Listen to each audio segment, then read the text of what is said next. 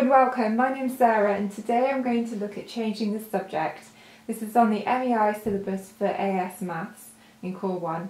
It's really building on what you did at GCSE, so if you were happy and confident with this at GCSE, it shouldn't be too much of a step up for you. If, however, you were struggling with this slightly at GCSE, it might be worth going back, doing a bit more practice on that, all the basic algebraic skills learned at GCSE are really going to be used in AS a lot. So you need to be really happy and comfortable, confident with them. So do keep practicing until you get to that point. I'm going to do five examples today, slowly increasing in difficulty. So please do pause the video when I put each one up, have a go yourself, come back and compare. So this first example, I want to make x the subject. So please do pause and have a go. The first thing I want to do is get rid of the h, that's the denominator. I don't like fractions. Now because we're dividing by h, we're going to do the opposite. So we're going to bring it onto this side by timesing by h. So that h is going to come up to this side here, so we'll have h times y. On this side we'll just be left with w times x minus t.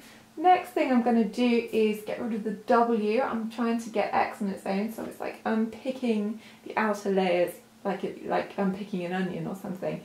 So I'm going to get rid of this w. Because we're timesing by w, I'm going to do the opposite. That's divide by it, so that's going to go down.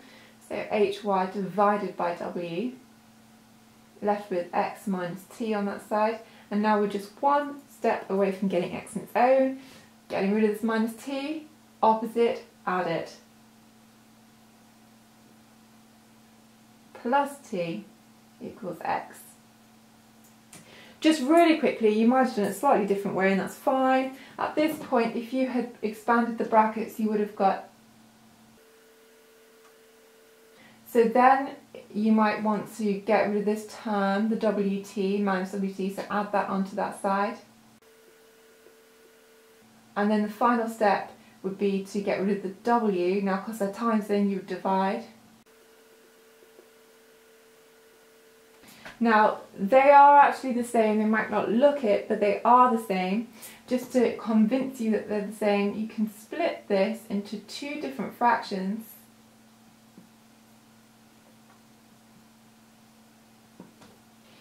And on this fraction here, you've got W on the top and the bottom, so they actually cancel. So now that does look like that one there.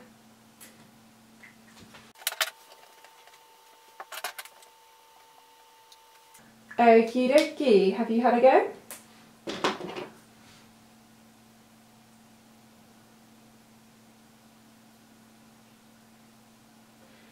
I want to get rid of the half first of all, I don't like fractions, so if this one's got, you're dividing by 2 effective, effectively, so the opposite is to times by 2, so we're going to bring the 2 up, so times by 2 to get 2e, you're left with mv squared.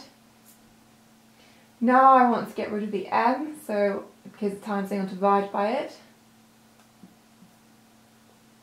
Left with v squared, and to get v on its own, I do the opposite of squaring, which is square rooting.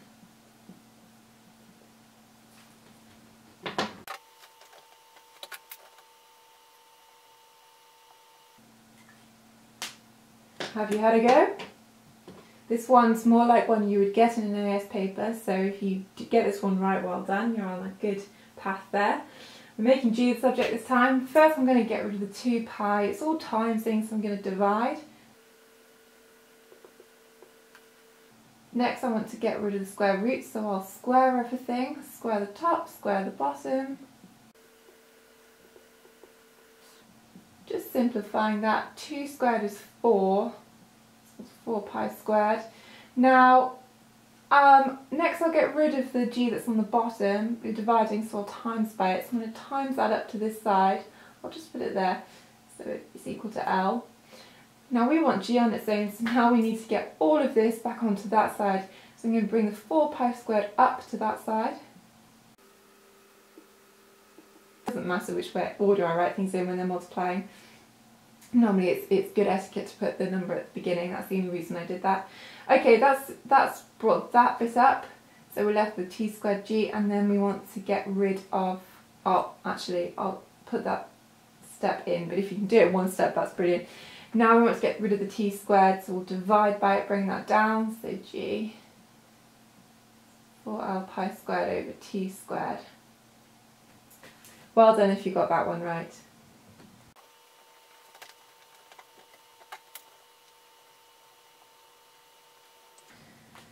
Okay, this time we're making b the subject. Now, this one's slightly more complicated still. The b comes up twice in this fraction, so this needs a very specific method. If you've not seen this before, don't worry if you couldn't get it because you need to see this before you can do it. Now, what we're going to do is first get this b up onto this side, so we'll times by it. And we need to get every term containing a b together on one side, everything else on the other side. So at the moment that's a positive 2b adding, so I'll take it away onto this side, equals 5. Now because b occurs in both of these terms, we can factorise, take it out as a common factor, and now you can see how to finish that off. b times by a minus 2, so we're going to divide by a minus 2. So if your term comes up twice, get everything with that letter on one side, everything else on the other, factorise and divide.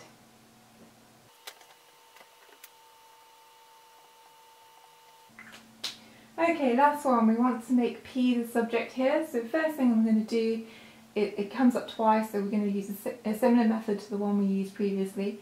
First I'm going to bring the P plus 2 up to the other side, times by it. Multiply out that bracket there. I'm going to get everything with P in on one side, everything else on the other. So I'm going to take that one onto that side and I'm going to take that one onto that side. Now I can factorise and divide that one down. Well done if you got that one right. That's probably the most complex you'll get. Keep practicing those and have fun.